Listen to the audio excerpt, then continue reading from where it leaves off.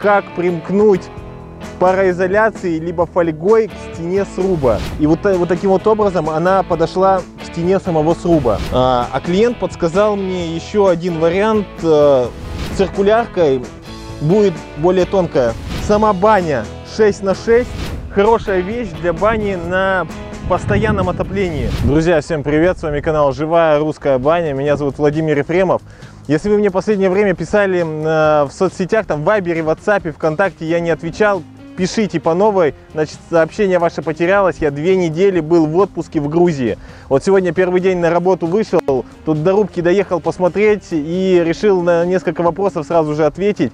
А, несколько раз уже за последние дни задавали вопрос, а, как примкнуть пароизоляцией либо фольгой к стене сруба.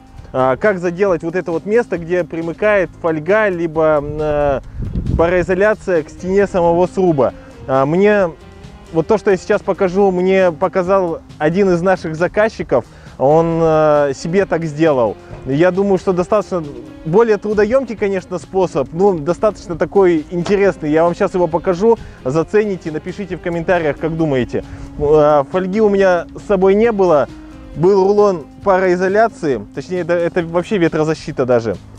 И смотрите, вот он сруб. Кстати, сейчас э, сруб этот э, у нас в Екатеринбург поедет. Сейчас покажу планировку этого сруба. Но сначала по потолку. Планировка, кстати, такая зачетная получается. И смотрите, э, когда вот, допустим, на потолке лежит э, потолочная балка, э, на нее закрепляется пароизоляция, и пароизоляция приходит к стене. Я с наружной стороны покажу, чтобы мне просто удобнее было. Вот, допустим, если вот здесь вот потолок, то вот пароизоляция пришла, и вот, вот таким вот образом она подошла к стене самого сруба.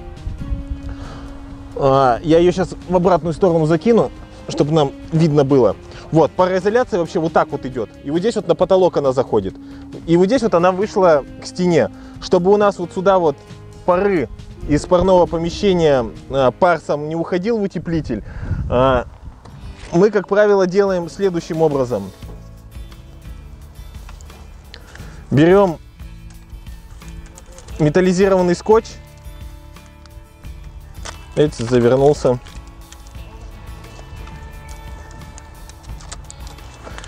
И проклеиваем этот край металлизированным скотчем. Вот так вот.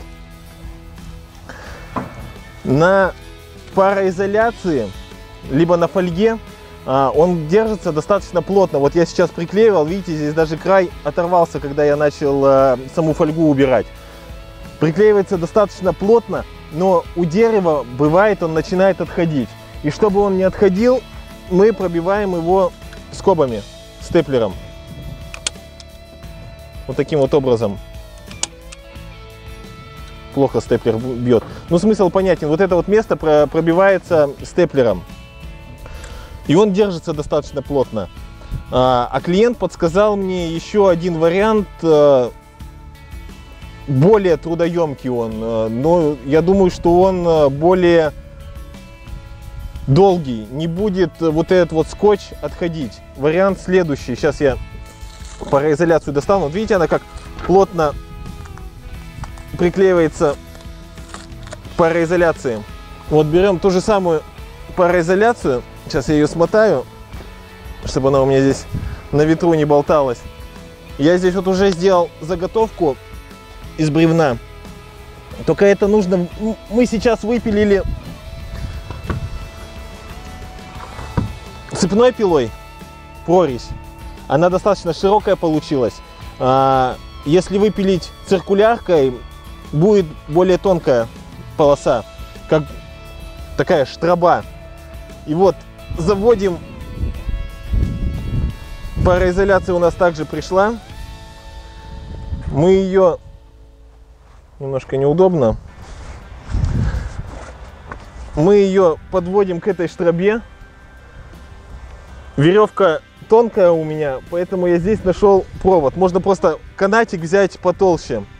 И дальше вот в эту вот штрабу, где она у нас, вот в эту вот штрабу, мы пробиваем канат. Сейчас сюда сделаю.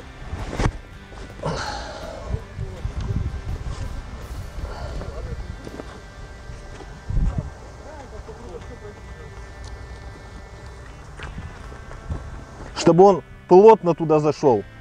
Прям нужно взять веревку толще самой прорези и молотком ее туда простучать. Молотком ее туда простукиваем, лишнее отрезается.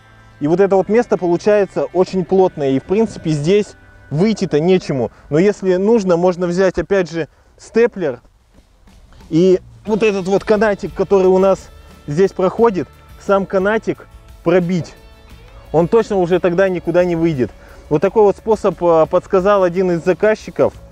В комментариях пишите, насколько он, насколько он а, жизнеспособный. Ну, сделать, конечно, тяжелее будет, чем просто скотчем проклеить, потому что нужно по всему периметру пропил сделать. И пропил достаточно аккуратный.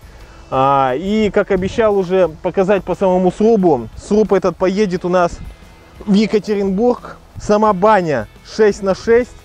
И здесь еще э, вынос под двухметровую террасу. Соответственно, габаритные размеры получаются уже 6 на 8. С этой террасы есть отдельный тамбур разграничения тепла и холода. Хорошая вещь для бани на постоянном отоплении. Получается, чтобы с улицы сразу же в теплое помещение не заходить, сначала холодный тамбурок. В садке, если помните, видео в садке тоже был сначала маленький тамбурок, и потом уже сама баня шла. Вот здесь также тамбур вырублен. И дальше будем заходить а, в саму баню. В бане парная, мойка, комната отдыха. А, нету никаких лишних вот этих вот нагромождений, комнаток маленьких.